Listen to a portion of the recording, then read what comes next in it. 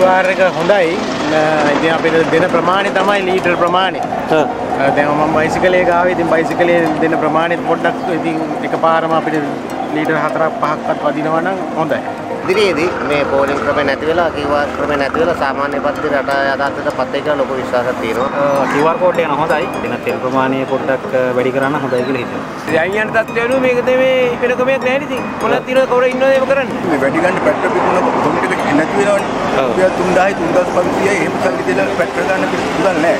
මේ ක්‍රමය හොඳයි. අපි සතුටුයි මේක. ක්‍රමය හොඳයි නේද?